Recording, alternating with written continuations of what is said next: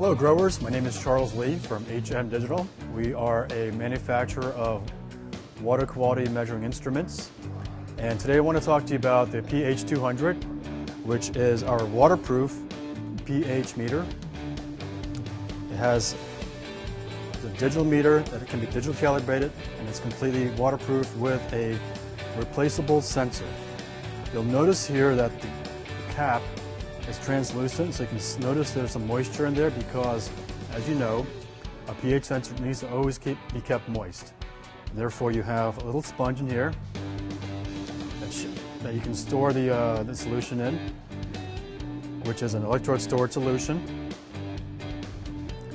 You'll notice that the, the glass sensor has some fluid in there, which is actually a potassium chloride gel. And the glass is semi-permeable so that in order for the pH sensor to be working properly, a little, little bit of a few molecules of the, the gel will seep out to communicate with the reference electrode, as you see on the, the pink uh, sensor. And therefore, it needs to have a constant flow of this gel. And you need to keep this in equilibrium by keeping the sensor moist in this uh, sponge-filled cap.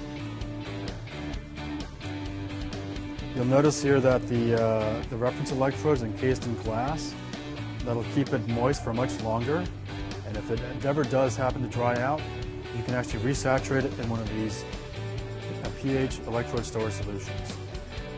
But we highly recommend that you keep this sensor clean uh, by rinsing it in, in a um, RO solution or um, RO water, purified water, and then keeping the, uh, the sensor always moist by pouring a little bit of storage solution, which I will show you here. Electrode storage solution. Pour a couple of drops